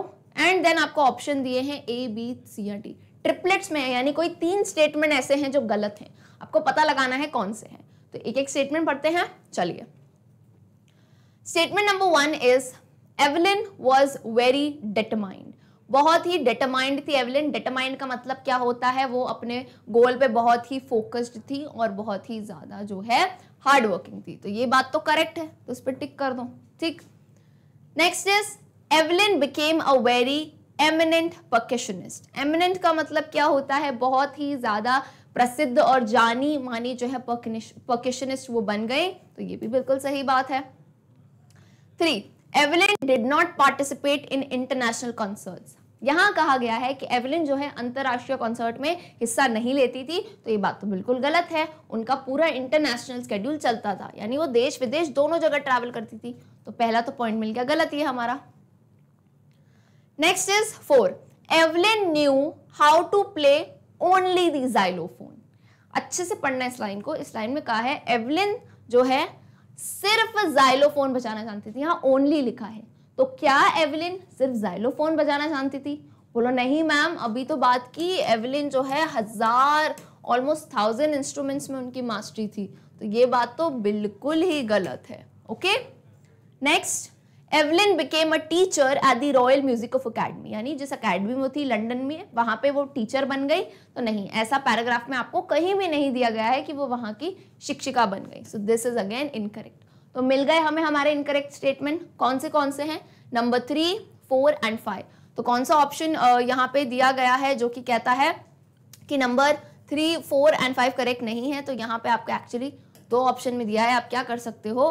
ऑप्शन सी में it's like this okay option C is only three and four and option B is three four and five तो यहाँ पे ऑप्शन बी आपका करेक्ट आंसर होगा। वो ऑप्शन ग्लिच था डोंट वरी उसमें सिर्फ़ थ्री और फोर था। तो आपको पता है सिर्फ़ थ्री और फोर तो नहीं है ना? थ्री फोर फाइव है। क्लियर है? चलिए। Moving on to the next that is third question third question says the phrase most sought after indicates अभी पीछे ही मैंने आपको ये फ्रेज बताया था कि मोस्ट सॉट आफ्टर का मतलब क्या होता है है ना? Most sought most sought after multipercussionist is it A popularity B stardom C fan following या D both A and B तो मोस्ट सॉट आफ्टर का मैंने आपको क्या बताया था? डिमांडेड है ना? बहुत ही ज़्यादा डिमांड में थी वो। तो डिमांड में कौन होता है, बताओ? कौन होता है डिमांड में? क्लियर सी बात है जिसकी फ़ैन फॉलोइंग ज़्यादा हो। भाई डिमांडेड का मतलब क्या होता है? कब आप डिमांड में आओगे? जब आपकी फ़ैन फॉलोइंग हो, है ना? आपके फैंस कहें कि, यार वी वॉन्ट यू आप यहाँ पे आके हमें जो है कॉन्सर्ट दो, या फिर हमारे, हमें आके जो है म्यूज़िक सुनाओ। ठीक है? सो करेक्ट आंसर यहाँ पे क्या हो जाएगा? फ़ैन फॉलोइंग स्टार्डम और पॉपुलैरिटी दोनों का मतलब एक ही होता है कि आप बहुत ही प्रसिद्ध हो। ठीक है? यहाँ पे बहुत ही स्लाइट डिफरेंस है यहाँ प्रसिद्ध हो और यहाँ पे आपके चाहने वाले हैं है ना? Most soft sought after fan following यानी आपके चाहने वाले ठीक है? सो so, प्रसिद्ध यहाँ से मतलब नहीं है मोस्ट सॉफ्ट सॉट आफ्टर से यहाँ पे मोस्ट सॉट आफ्टर का मतलब है फ़ैन फॉलोइंग जिनकी ज़्यादा है ओके? क्लियर है? चलिए। Moving on to question four the word hectic means hectic word जो यूज़ किया गया था पीछे क्लियरली क्या लिखा था? कि Evelyn Glennie had a hectic international schedule है ना? एवलिन गिनी का कैसा था? एक हेक्टिक इंटरनेशनल स्केड्यूल तो पीछे ही मैंने आपको हेक्टिक का क्लियर मतलब बताया था, क्या होता है? बहुत ही ज़्यादा रेस्टलेस या बहुत ही ज़्यादा बिज़ी तो यहाँ पे आप रेस्टलेस भी लिख सकते हो. रेस्टलेस का मतलब क्या होता है? रेस्ट का मतलब क्या होता है? आरामदायक. रेस्टलेस का मतलब क्या होता है? जहाँ आपको आराम करने का बिल्कुल भी मौका नहीं मिले, बहुत ही हेक्टिक हो आप, बहुत ही ज़्यादा व्यस्त हो जाओ। तो आप रेस्टलेस भी लिख सकते हो, आप बिज़ी भी लिख सकते हो। Okay no problem with that चलिए if this is clear then let's move on to question five question five says according to Glennie what is the key to achieve what one wants Glennie के अनुसार ऐसे क्या particular बात उन्हें कही what is the की यानी ऐसी कौन सी चाबी है जिससे जो आप चाहते हो वो पा सकते हो।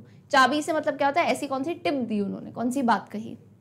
So according to Evelyn Glennie to achieve what one wants one must work hard and keep his और her eyes set on the goal वही मैंने आपको बात बताई एवलिन ग्लीनी के अनुसार to achieve one one want यानी वो पाने के लिए जो एक चाहता है, यानी इंसान वन का मतलब क्या है यहाँ पे? जो एक इंसान चाहता है है ना?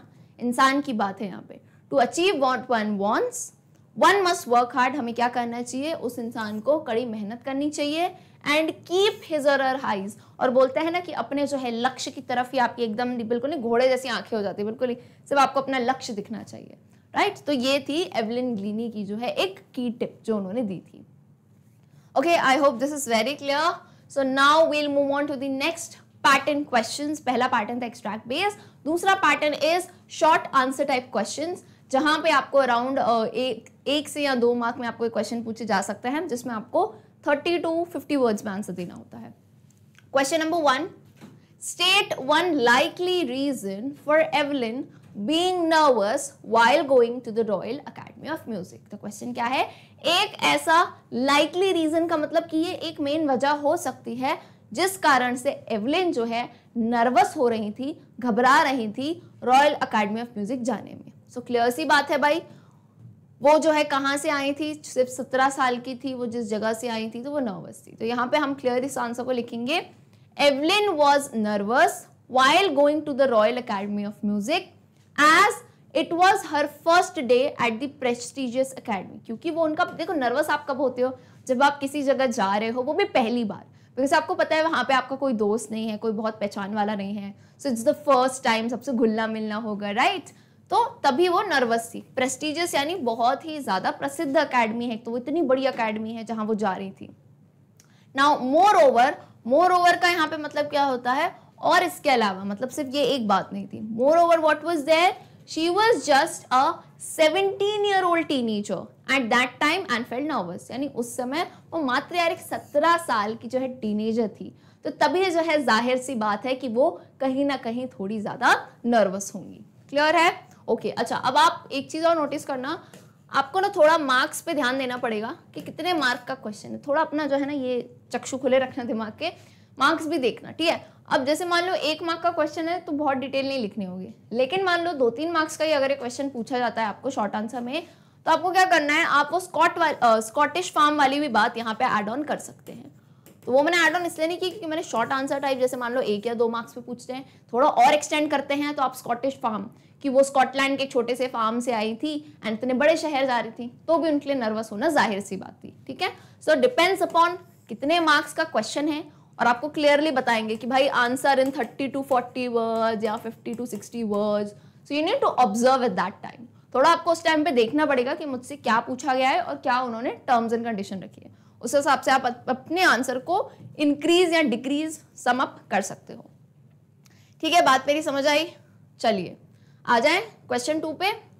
Question number two says how did Evelyn become able to sense different notes अच्छा क्वेश्चन है ये, कि एवलिन जो है, कैसे ऐसी बन गई कि वो अलग अलग नोट्स को सेंस सेंस का मतलब क्या है?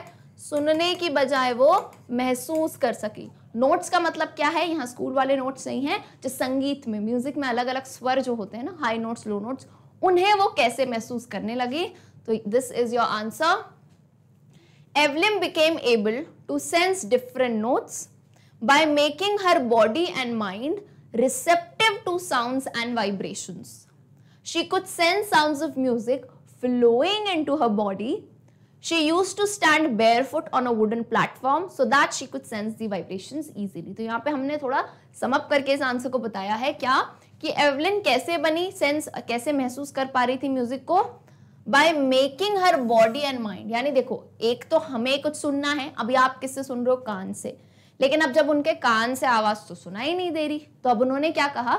अपने शरीर को, यानी बॉडी के सारे पार्ट्स को क्योंकि हमें पता है स्किन वगैरह में जो है रिसेप्टर्स होते हैं राइट रिसीव कर सकते हो आप वाइब्रेशंस तो उन्होंने अपने दिमाग को और अपनी बॉडी को रिसेप्टिव रिसेप्टिव यानी एक्सेप्ट करने वाला, कि रिसीव कर सके, जो है ना, पा सके। तो रिसेप्टिव बना दिया। रिसेप्टिव का यहाँ पे मतलब होता है ओपन कर दिया कि अब जो है, जो भी साउंड आएगा, जो भी वाइब्रेशन आएगी, उनको मैं अपनी बॉडी से और मन से महसूस कर सकूँगी। धीरे धीरे उन्होंने इस चीज़ में खुद को ट्रेन किया। Then she could sense sound of music flowing into her body यानी वो कहती हैं कि वो संगीत को जो है अपने शरीर में बहता हुआ, जैसे पानी बहता है ना, वैसे वो शरीर को बहता हुआ शरीर के अंदर जो है संगीत को बहता हुआ महसूस कर सकती हैं। एंड ऐसे कुछ कुछ उन्होंने चीज़ें करी है, जिसमें से एक एग्ज़ाम्पल मैंने यहाँ डाल दिया है कि she use to stand bare foot bare का मतलब क्या होता है? नंगे पैर, है ना? कि नीचे कुछ भी नहीं पहना हो पैरों में। तो वो नंगे पैर जो है वुडन प्लेटफॉर्म पे खड़ी होती थी, ताकि क्या है ना वुडन प्लेटफॉर्म पे क्या होता है, जब ड्रम्स वगैरह बचते हैं तो हल्का ऐसे ऐसे ऐसे ऐसे वो हिलता है वाइब्रेट करता है। तो वो बेयर फुट नंगे पैर रहती थी, ताकि क्या हो, उन नंगे पैरों से उनका जो म्यूज़िक है जो वाइब्रेशन है उनकी टांगों तक जाए एंड वो उन नोट्स को करेक्टली समझ पाए। ठीक है? क्लियर है? चलिए। तो दिस वॉज़ द आंसर कि एवलिन जी जो है कैसे डिफरेंट नोट्स को सेंस कर पाती थी। Is it clear so that we can move on to question number three चलिए। What did Evelyn say about sensing the music तो एवलिन ने म्यूज़िक को महसूस करने के बारे में क्या क्या उन्होंने चीज़ें बताई थी? So Evelyn said that she could sense the music through every part of the body यानी उन्होंने बताया कि अपने शरीर के हर अंग से वो जो है संगीत को महसूस कर पाती थी। It creates a tingling sensation in her skin cheek bones and her hair तो आप जब चैप्टर पढ़ेंगे चैप्टर में एग्जैक्ट बातें जो कही हैं if you write those then आपको एग्जामिनर जो है शानदार से मार्क्स देगा। ठीक है तो हर जगह एक ही बात मत लिखाना। अब यहाँ पे उन्होंने क्या बताया था एवलिन ने? कि एक टिंगलिंग सेंसेशन टिंगलिंग का मतलब क्या होता है? झंझनाट सी होती है ना गुदगुदी सी होती है। जब आप देखो, कोई भी चीज़ आप जो है ना, बहुत ज़्यादा तेज म्यूज़िक हो या आप कभी स्पीकर्स के पास गए हो, कभी लाउड स्पीकर्स होते हैं ना डीजे वगैरह में तो तुम कभी भी उनके पास हल्का सा भी जाओगे ना या हल्का सा हाथ रखोगे तो भर भर, ऐसे बहुत ज़ोर से जो है ना ड्रम्स के बजने की वाइब्रेशन आती है। तो यहाँ पे वही कहती है एवलिन कि ये जो संगीत है ना, इससे मुझे एक टिंगलिंग सेंसेशन होता है गुदगुदाहट सी होती है, कहाँ? मेरी त्वचा में मेरी इवन चीक की बोन्स में वो फील कर सकती हैं एंड अपने बालों में। सोचो so, बालों में जहाँ पे कोई भी चीज़ फील नहीं होती है यानी ये जो नीचे का सेक्शन होता है ना यहाँ पे फील नहीं होता है क्योंकि आप कट कराते हो आपको दर्द थोड़ी ना होता है बालों में।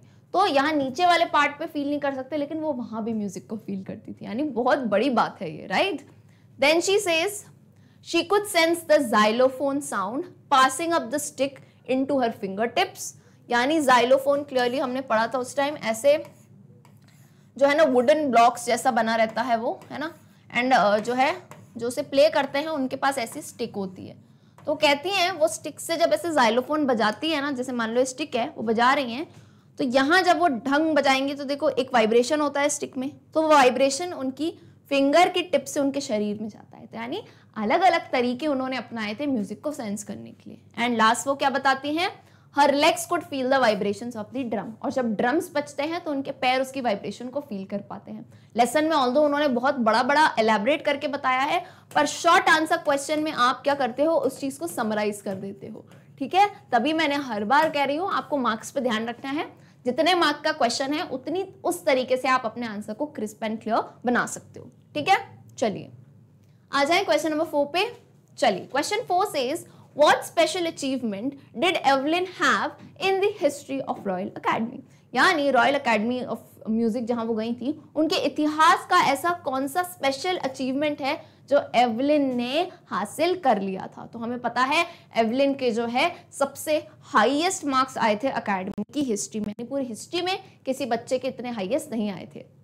So the answer is the special achievement that Evelyn had in the history of Royal Academy was that she scored one of the highest marks in the history of the academy यानी पूरी academy के इतिहास में उनके one of the जितने भी मतलब सबसे टॉप मार्क्स थे ना, उसमें से उनके भी थे राइट फर्दर फर्दर यानी आगे और क्या ऐड करते हैं? At the end of her course in the academy she had got most of the top awards यानी उनका तीन ईयर्स का कोर्स था थ्री साल का कोर्स था, उसके अंत तक जो है उन्हें अकेडमी के one of the top awards यानी टॉप परफॉर्मर टॉप म्यूजिशियन वो सारे अवार्ड्स वो ऑलरेडी हासिल कर चुकी थी। Okay okay? तो ये कुछ स्पेशल अचीवमेंट्स थे जो एवलिन को मिले थे कहाँ पे? रॉयल अकेडमी ऑफ़ म्यूज़िक में। So let's move on to the next question question number five ये क्वेश्चन क्या कहता है? Give the reason for Evelyn removing her shoes on a wooden platform यानी एक वुडन प्लेटफॉर्म पे लकड़ी के बने हुए जो स्टेज है उस पर एवलिन अपने जो है जूते क्यों उतार देती हैं? So this answer is quite obvious and we have discussed it a lot of times is in it कि वुडन प्लेटफॉर्म क्या होता है? जैसे जो प्लेटफॉर्म पे मैं अभी खड़ी हूँ ना वो भी वुडन प्लेटफॉर्म है। सो so, स्टेजेस जब आप ऑडी ऑडिटोरियम वगैरह में जाओगे ना तो स्टेज जनरली ऐसा होता है कि वुडन प्लेटफॉर्म के बने होते हैं वो लकड़ी के प्लेटफॉर्म पे। तो उससे क्या होता है? जब भी आप कोई इंस्ट्रूमेंट प्ले कर रहे हो for example you're playing drums और यूर प्लेइंग तबला तो वो हल्का सा जो है ना प्लेटफॉर्म वो वाइब्रेट करता है। तो यहाँ पे क्या होता था? एवलिन जो है अपने जूते, अब आप प्रैक्टिकली देखो, कभी भी आप जूते में चलोगे ना तो नीचे जो वाइब्रेशन है वो आपको कम फील होगा। And on the other hand जब आप अपने शूज़ वगैरह रिमूव करते हो बेयर फुट यानी नंगे पैर होते हैं, तब कोई भी मान लो ज़मीन पे वाइब्रेशन हो रहा है, कुछ गिर रहा है तो आपको बहुत ज़्यादा महसूस होता है। So that was the reason because Evelyn was deaf तो म्यूज़िक को और अच्छे से फील करने के लिए वो वुडन प्लेटफॉर्म पे अपने जूते उतार देती थी, ताकि उनके जो हैं जो फीट से होते हुए पैरों तक वो वाइब्रेशन पहुँच सके। क्लियर है? तो इसी वे में आप जो है अपने आंसर को फॉर्म करेंगे। On a wooden platform Evelyn used to remove her shoes so that she could sense the vibrations passing through her bare feet I hope अब ये तो सबको याद हो चुका होगा। Bare word B A R E bare का मतलब सबको पता है, नंगे पैर। तो bare feet word whole heartedly याद कर लो। मैं नहीं चाहूँगी कि इस वर्ड का आप कोई दूसरा वर्ड लिख के आओ एग्ज़ाम में, है ना? एम टी फीट मत लिखना, ठीक है? Bare feet is a very basic word you can learn this ठीक है? तो वो अपने जो है बेयर फीट नंगे पैरों से उन वाइब्रेशंस को महसूस कर सकती थी। विद शूज़ शूज़ के साथ क्या दिक्कत होती है? She could not feel the vibration properly and therefore she would not be able to feel the music क्योंकि अगर जूते पहने रहती तो वो वाइब्रेशन को अच्छे से फील नहीं कर पाती। तो म्यूज़िक कैसे पहचानती कि भाई कौन सी बीट बजानी है, क्या करना है, कौन सा ताल मिलाना है? क्लियर है? तो एक बेसिक सा रीजन है इसका एंड ये भी अच्छा क्वेश्चन है वुडन प्लेटफॉर्म वाला, ये भी पूछा जा सकता है। Okay okay? चलिए। Next let's move on to question number six how was Evelyn able to express music so beautifully तो ये तो आई थिंक सवाल ऑफ़ एवरी स्टूडेंट होगा कि यार कैसे जो है एवलिन डेफ होने के बावजूद संगीत को इतनी सुंदर तरीके से ब्यूटिफुली वो प्रेजेंट कर पाती थी। So there are many reasons क्योंकि उन्होंने बहुत सारी ऐसी टेक्निक्स ढूंढी थी कि वो म्यूज़िक को सेंस कर पाए। So has the answer Evelyn was able to express music so beautifully because she was able to feel it far more deeply than others यानी फार मोर डीपली यानी फार का मतलब क्या होता है? हमसे बहुत ज़्यादा गहराई से जो है वो संगीत को महसूस कर सकती थी। क्योंकि हमारे लिए तो एक ही चीज़ है। अगर हमें सुनना है, हम कान से सुनेंगे, हम बॉडी के किसी दूसरे पार्ट से म्यूज़िक को महसूस करते हैं, नहीं। लेकिन कभी आपके पास वक्त हो ना, जब आप मेडिटेट करो तो आप कोशिश करना, कान के अलावा म्यूज़िक को ना आप महसूस कर सकते हो बॉडी के अंदर। सो दैट वॉज़ एवलिन्स वे क्योंकि उनका तरीका हम सबसे अलग था, यही वो कारण है कि वो संगीत को फार मोर यानी हमसे कई ज़्यादा गहराई से महसूस कर पाती थी। Others could only hear music by ear यानी दूसरे लोग जो हैं, सिर्फ़ कानों से संगीत को सुन सकते थे। But Evelyn could sense music through her body लेकिन एवलिन जो है अपने पूरे शरीर में म्यूज़िक को जो है अच्छे से फील कर पाती थी, महसूस कर पाती थी. Okay so that was the main reason कि वो जो है संगीत को इतनी सुंदर तरीके से जो है एक्सप्रेस यानी प्रस्तुत कर पाती थी. Okay okay? एक्सप्रेस का मतलब सबको समझ आता है ना कि किसी के सामने एक्सप्रेस करना यानी प्रस्तुत करना. Okay okay? क्लियर है? चलिए if this answer is good then let's move on to the next type of question अब हम आते हैं लास्ट टाइप के क्वेश्चन जो कि होते हैं लॉन्ग आंसर टाइप क्वेश्चन इसमें आपको लिखनी है अच्छी खासी डिटेल एंड यहाँ पे आके काफ़ी स्टूडेंट्स के मुँह बनने लगते हैं कि मैम लॉन्ग आंसर क्वेश्चन याद ही नहीं होते. ऐसी कोई टेक्निक बता दो, पलक मैम की याद कर लें।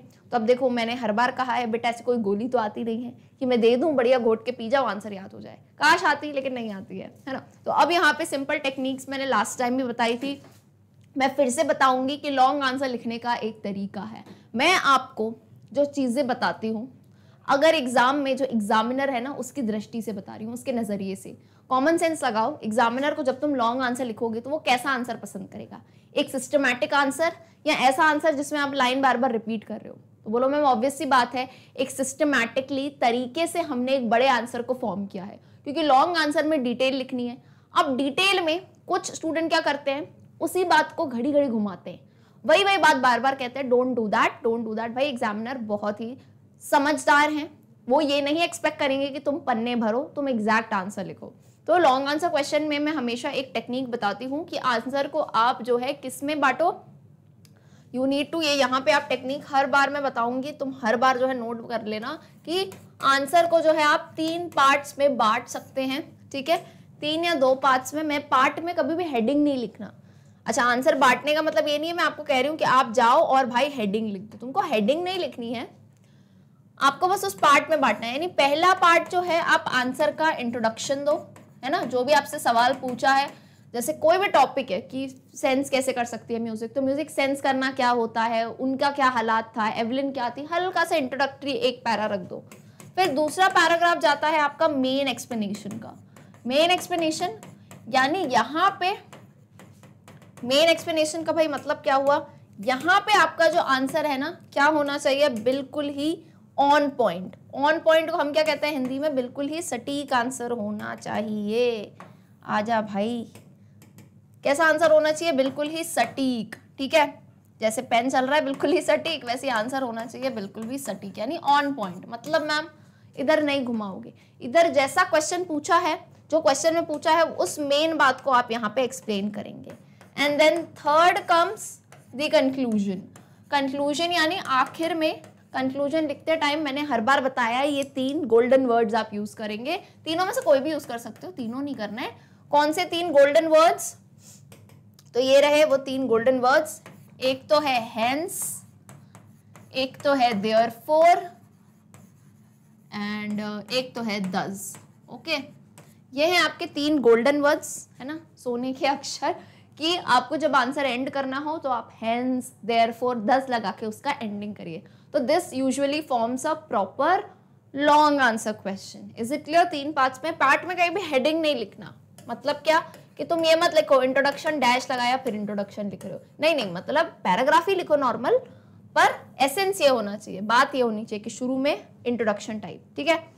तो अब पढ़े पहला क्वेश्चन चलिए। Question number one says how was Evelyn Glennie able to become the world most sought after percussionist what are her achievements तो ये आपसे मतलब क्लियरली कह रहे हैं कि तुम चैप्टर ही समझा दो। कि एवलिन ग्लेनी जो है एक world most sought sought after यानी इतनी फ़ैन फॉलोइंग उनकी कैसे हो गई, इतनी प्रसिद्ध परकशनिस्ट वो कैसे बनी, और उनके क्या क्या अचीवमेंट्स यानी उन्होंने क्या क्या हासिल किया।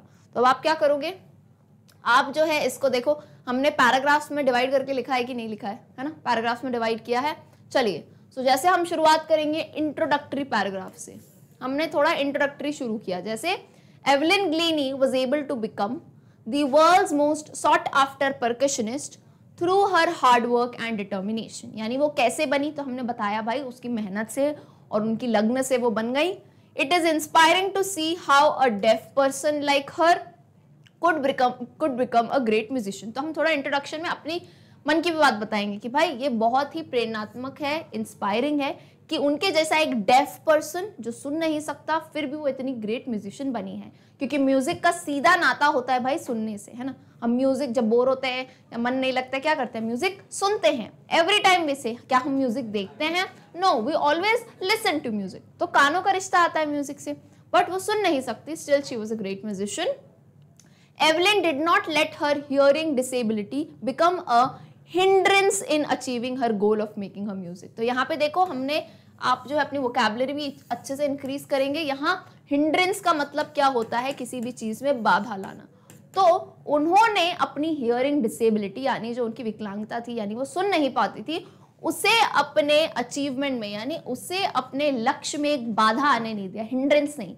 ऐसा बहाना नहीं बनाया उन्होंने कि अब तो मैं डेफ हो गई हूँ, अब तो मैं कुछ नहीं करूँगी। नहीं, वो बिल्कुल लगी रही, है ना? उन्होंने अपना जो म्यूज़िक गोल था, उसमें वो बिल्कुल आगे जो है वर्क करती रही।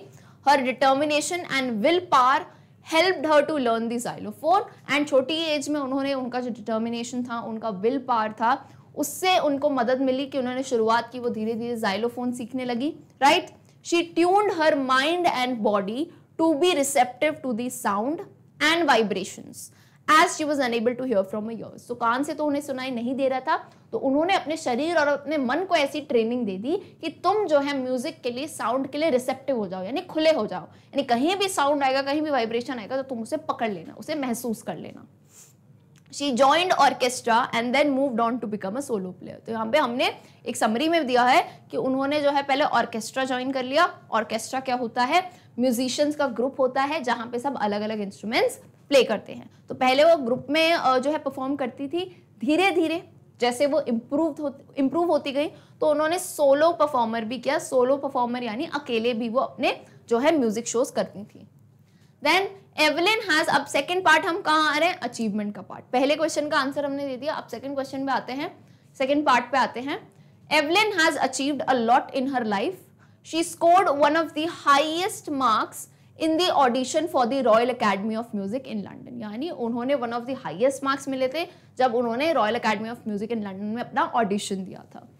She had received most of the awards at the end of her three year course at the academy यानी उस अकेडमी में जो तीन साल का कोर्स वो कर रही थी, उसके आखिर में उन्होंने बहुत सारे वहाँ के टॉप यानी हाईएस्ट अवार्ड्स ऑलरेडी जीत लिए थे। She has a mastery of over thousand instruments and is the world most sought after multi percussionist यानी अराउंड हज़ार तक जो है इंस्ट्रूमेंट्स में उन्होंने मास्टरी की है दुनिया की one of the most demanded ये परकशनिस्ट हैं। In 1991 she was given the Royal Philharmonic Society soloist of the year award. आपको ये एक ही डेटा मेन दिया गया था, इसको भी आप याद रखेंगे। 1991 में जो है, इन्हें रॉयल फिल हार्मोनिक सोसाइटी अलग अलग सोसाइटीज होती है ना तो इस सोसाइटी का soloist of the year award है। जैसे होता है ना performer of the year student of the year वैसे ही soloist of the year award से इन्हें नवाजा गया था। She works very hard and performs at many places She gives free concerts in prisons and hospitals and has become a source of inspiration for the disabled people. And वो concert तो करती हैं. Even वो hospitals और prison, यानी jail में जो है फ्री कॉन्सर्ट भी वहाँ पे देती हैं. एंड यंग म्यूजिशियंस के लिए एंड जो डिसेबल्ड लोग हैं, जो विकलांग लोग हैं, उनके लिए वो बहुत बड़ी प्रेरणा है. क्लियर है तो इन दो आंसर का आप पाँच में आंसर देंगे तो आपको अच्छे मार्क्स मिल पाएँगे. ठीक है? चलिए, आ जाइए क्वेश्चन नंबर टू पे. काफ़ी इंपॉर्टेंट क्वेश्चन है ये. वैसे तो सारे क्वेश्चन इंपॉर्टेंट वाले ही रखे लेकिन ये वन ऑफ़ उससे भी सबसे ज़्यादा इंपॉर्टेंट क्वेश्चन यही आ सकता है लॉन्ग आंसर में कि how does Evelyn hear music क्योंकि पूरा जो चैप्टर है ना इट वॉज़ बेस्ड ऑन कि एवलिन ने खुद को कैसे ढाला कि वो संगीत को सुन पाए डेफ होने के बावजूद। तो now it is long answer question तो आप यहाँ पे पूरी डिटेल्स दे सकते हो। मैं आपको फ्री छोड़ती हूँ, जो आपने चैप्टर में पढ़ा है, आप वो सारी डिटेल्स यहाँ पे मेंशन कर सकते हैं। So has the answer Evelyn was deaf देखो, अब मैंने शुरुआत क्या की? मैंने सीधे लिख दिया Evelyn used to hear music नहीं, मैंने इंट्रो कैसे किया? मैंने धीरे से बात बताई, है ना? मैंने एग्जामिनर को बात बताई कि, सुनो भाई एवलिन वॉज़ डेफ ये इंट्रो है। और यूजुअली आप लोग क्या गलती करते हो लॉन्ग आंसर में? आपने प्रश्न पढ़ा how does Evelyn hear music Evelyn hear music चालू हो गए। अरे शॉर्ट आंसर थोड़ी ना है लॉन्ग आंसर है। आपको इंट्रोडक्शन से शुरू करना है। थोड़ी बहुत आप डिटेल बताओगे, नहीं तो लिखोगे क्या इतने बड़े आंसर में? Hundred to one fifty words के आंसर आपको लिखने हैं राइट सो बी स्मार्ट है ना वर्क स्मार्ट कैसे लिखा है देखो Evelyn was deaf she used to hear music by sensing the notes in different parts of a body तो हमने थोड़ा बहुत बताया कि वो जो है, संगीत कैसे सुनती थी, अलग जो नोट्स है ना अलग अलग म्यूज़िक के स्वर है, अपने बॉडी के पार्ट्स में महसूस करके। रॉन फोर्ब्स अब यहाँ पे उनकी लाइफ के जो भी इंपॉर्टेंट लोग हैं, जैसे रॉन फोर्ब्स जो उनके टीचर हैं तो इनके नाम आप याद रखोगे और इनकी बात करोगे कि Ron Forbes taught her to hear like this यानी इस तरीके से सुनने का उसको किसने बताया? एवलिन पहले कोशिश करती थी कि मैं कान से सुन लूँ, लेकिन रॉन फोर्ब्स उनकी लाइफ में आए, उन्होंने उनको बताया कि तुम जो है म्यूज़िक को अपने बॉडी के दूसरे पार्ट से महसूस करने की अब कोशिश करो। ही ट्यून्ड और उन्होंने क्या किया था? मैंने कहा ना यू आर फ्री तुमको जो चैप्टर में बताया था, लिखो पूरी डिटेल लॉन्ग आंसर क्वेश्चन है। तो उन्होंने क्या किया था? He tuned to drums to different notes and asked her to sense the sound in some other way तो उन्होंने क्या किया? उन्होंने उसके अलग अलग बोलते हैं ना, रियाज की प्रैक्टिस करी। तो उन्होंने दो ड्रम्स ले लिए और दोनों को अलग अलग नोट पे बजाने लगे। एक ड्रम को वो बजाने लगे हाई नोट पे और एक ड्रम को वो बजाने लगे लो नोट पे। तो इससे क्या हुआ? एवलिन जो है एवलिन को उन्होंने कहा कि आप कान से मत सुनो, अब इन्हें सेंस करो। तो धीरे धीरे जो है एवलिन सेंस करने लगी और उन्होंने क्या रियलाइज़ किया? She realise that she could feel the higher drum from the waist up and the lower drum from the waist down इसका मतलब क्या हुआ? जैसे वेस्ट का मतलब क्या है कमर।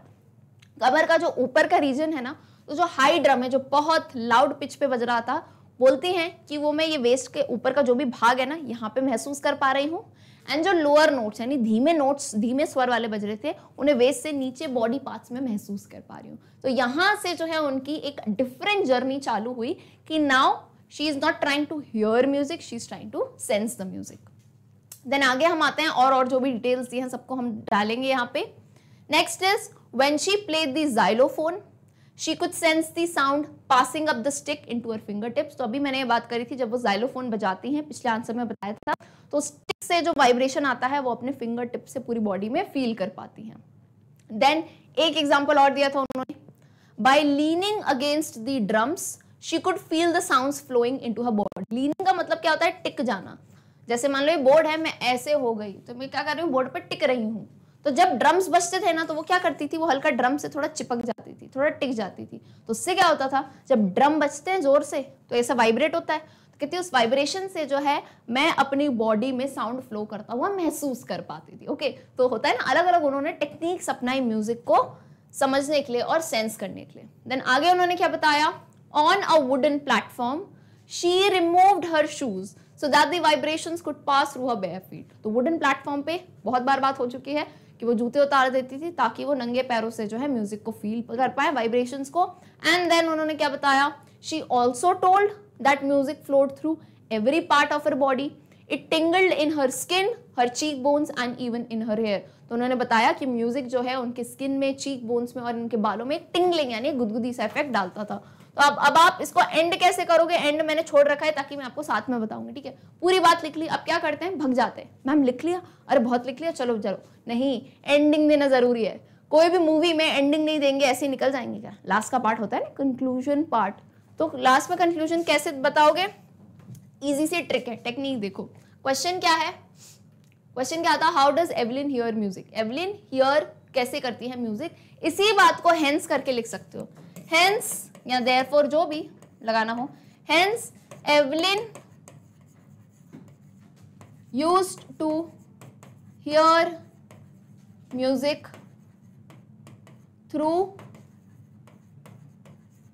every part of her body है ना? बस इसको एंड करते हो आप लिख सकते हो. Every part of her body ठीक? ऐसे आपको एंड करना है. तो क्या होगा ना? टीचर को भी पता चलेगा कि बच्चे ने आंसर एंड किया है. ठीक है? तो हेंस लगा सकते हो देयर लगा सकते हो दस लगा सकते हो। देखो, मैंने तुम, तुम्हारे सामने सब कुछ करके बताया है कि क्वेश्चन आता है तो कैसे अप्रोच करना है और एंडिंग कैसे करनी है। तो यहाँ तक आपको डिटेल्स पता थी डेटा लिख दिया। ये एक एड ऑन चीज़ है जो आपको करनी है लॉन्ग आंसर क्वेश्चन में। ठीक है? क्लियर है बिल्कुल? चलिए wonderful so dear class nine students with this we end the M I Qs उम्मीद करती हूँ आपको एक आइडिया लग गया होगा कि आपके एग्ज़ाम में इस पर्टिकुलर चैप्टर से कैसे टाइप के क्वेश्चन पूछे जा सकते हैं। तो अपनी तैयारी जारी रखिए। मिलते हैं अगली क्लास में। तब तक के लिए गुड बाय